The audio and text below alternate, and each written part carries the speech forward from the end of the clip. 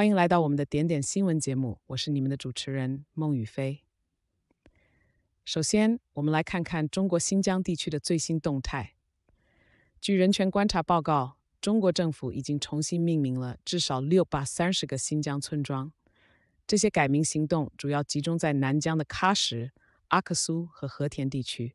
目的是消除维吾尔族的宗教和文化痕迹。这一举动被人权倡导者视为系统新的宣传重塑，旨在同化维吾尔族群体。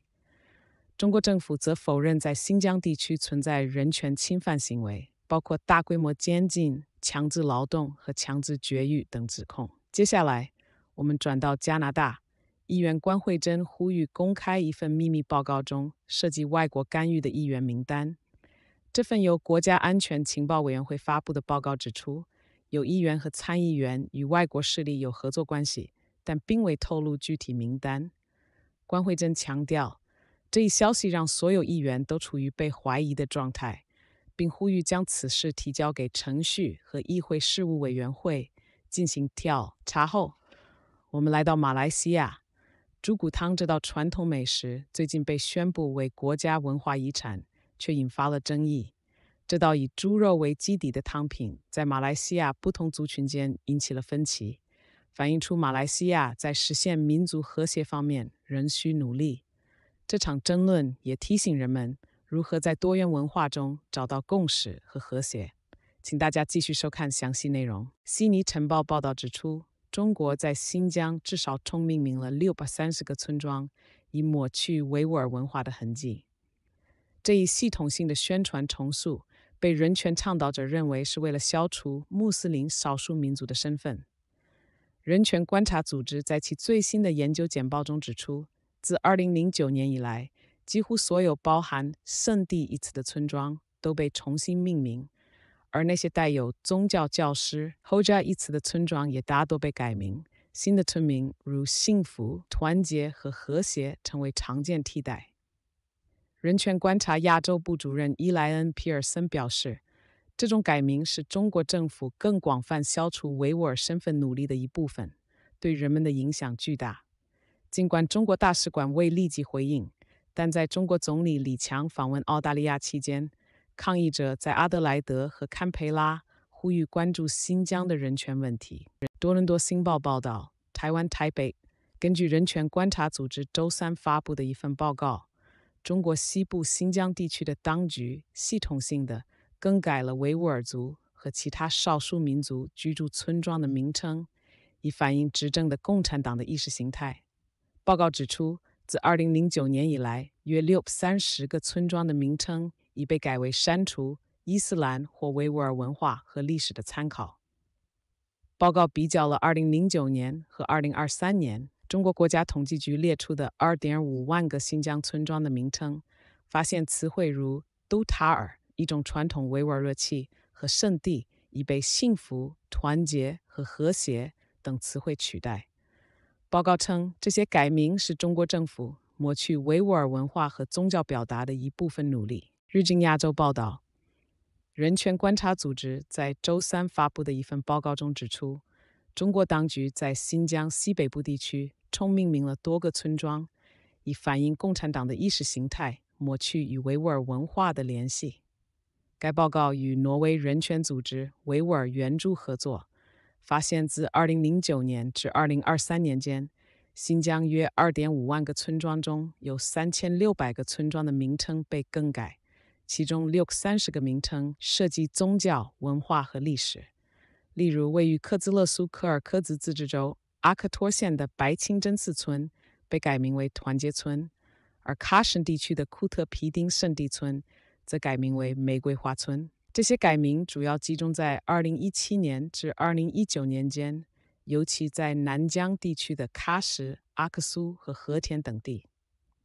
随着中国政府在2014年5月启动反恐运动，2017年大规模拘留营被曝光。联合国人权机构在2022年发布的报告中指出，中国在新疆的行动可能构成国际罪行，尤其是反人类罪。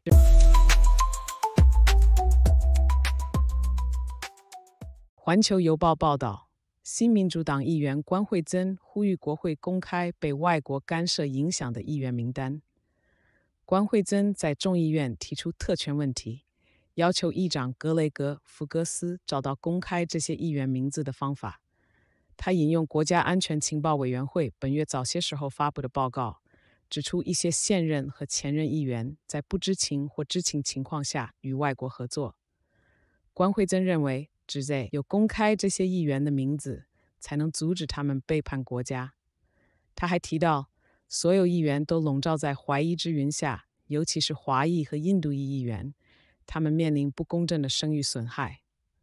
上周，众议院通过了一项动议，要求对议员与外国的关系进行公开调查。法官玛丽·约瑟·霍格同意调查这些指控，但表示可能无法公开涉事人员的名字。日经亚洲报道，马来西亚的一场关于肉骨茶的争论揭示了和谐的食谱。肉骨茶是一种由福建移民带到马来西亚和新加坡的汤，被认为是马来西亚的国家遗产菜肴。然而，这一宣布在议会引发了激烈辩论，尤其是保守的马来民族主义者认为。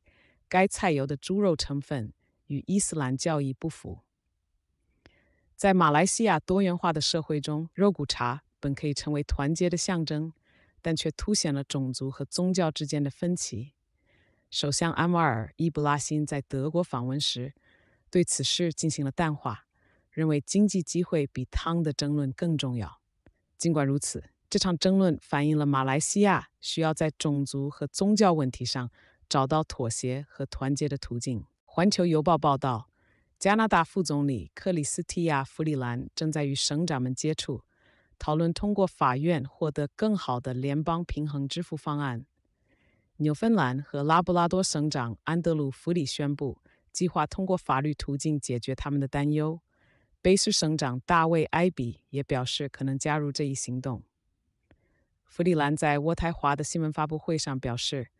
平衡支付是一个非常重要的国家项目，它使加拿大各地的人们能够享有相同水平的公共服务和社会保障。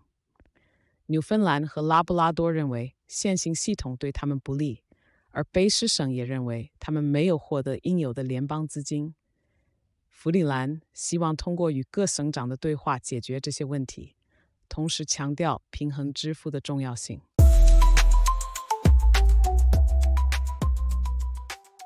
南华早报：德国汽车供应商博世向中国电动车制造商发出严厉警告，称不断升级的价格战不仅会损害其利润，还会影响其作为全球行业领导者的地位。博世中国总裁徐大全在周二的媒体简报会上表示，他已向中国国家主席习近平提出建议，建立一个公平有序的市场机制，以避免国内车企。和供应链供应商之间的恶性竞争。徐大全强调，只有高质量的增长才能有利于经济，并提升中国企业作为负责任领导者的形象。徐大全是五月二十三日在东部山东省与习近平会面的商业领袖之一。当时，习近平表达了亲商和促进增长的态度，以向国有企业高管、跨国公司高管、私营企业家和投资者保证中国的经济前景。博士自1909年起就在中国开展业务。2023年，在中国的收入为182亿欧元，同比增长5.2%。其中约80%的收入来自汽车部门，包括自动驾驶系统的自动驾驶软件、电动机械制动助力器和防抱死制动产品。许大全的提议是在中国电动车制造商和零部件供应商。为争夺市场份额和清理库存而进行激烈价格战后提出的。徐大全没有透露习近平对其建议的反应，但他提到，北京给予德国公民的签证豁免，帮助其工程师提高工作效率，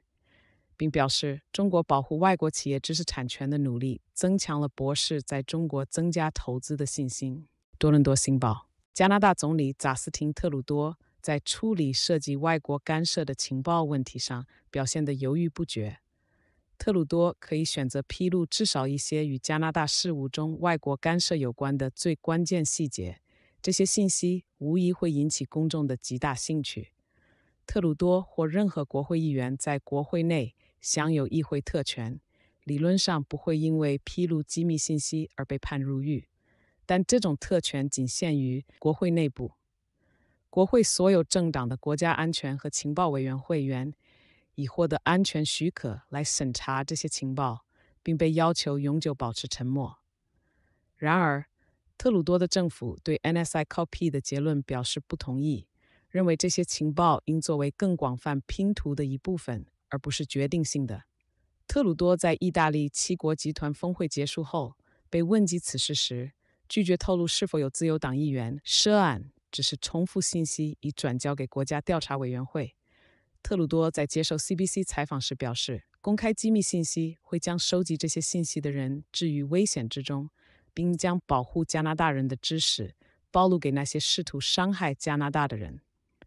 然而，绿党领袖伊丽莎白梅和新民主党领袖贾格米特辛格对报告的反应截然不同。前者表示。没有发现议员对加拿大不忠的证据，而后者则警告有议员帮助外国政府损害加拿大利益。多伦多星报，魁北克集团领袖伊夫·弗朗索瓦·布兰谢特周二对其竞争对手处理外国干涉问题的方式表示不满，称特鲁多和保守党领袖皮埃尔·波利耶夫需要停止将这一问题政治化。布兰谢特表示。当他最终获得阅读未删节版国家安全和情报委员会报告的许可时，他将寻找一个答案：是否有他的议员被点名为外国干涉的半知情或知情参与者？布兰谢特强调，如果他的议员被确认，他们将付出代价。布兰谢特指责绿党领袖伊丽莎白梅和新民主党领袖贾格米特辛格在披露报告内容上不负责任。特鲁多政府不同意 NSI Cop 关于议员的结论，认为这些情报应作为更广泛拼图的一部分，而不是决定性的。特鲁多还反驳辛格的说法，称任何声称其议员没有问题的领导人都应被怀疑。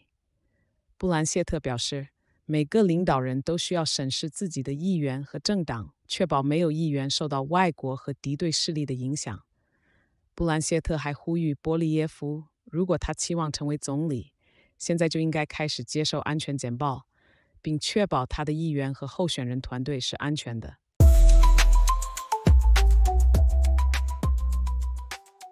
CNN 报道，以色列警告真主党可能爆发全面战争，因为该黎巴嫩激进组织发布了一段九分钟的视频，声称有无人机拍摄。展示了以色列多个城市的军事和民用地点。以色列外交部长以色列卡茨在 X 平台上表示：“我们正接近决定改变对真主党和黎巴嫩的游戏规则的时刻。在全面战争中，真主党将被摧毁，黎巴嫩也会遭受重创。”视频片段显示了海法北部的克里奥特居民区、以色列武器制造商拉斐尔的军事设施、铁穹电池。导弹储存和雷达站，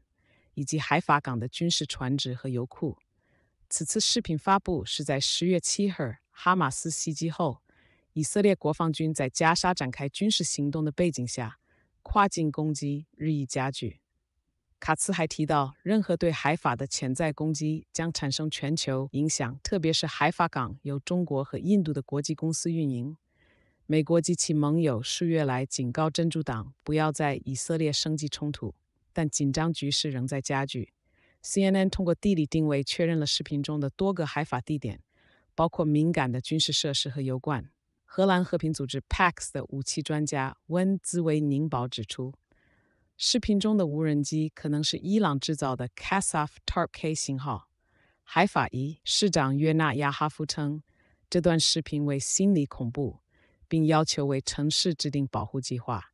批评以色列国防军指挥官自十月七日哈马斯袭击以来未访问海法。真主党声称这是第一集，暗示未来还会有更多视频发布。以色列军方已批准并验证了对黎巴嫩的进攻计划，并决定增加部队的战备状态。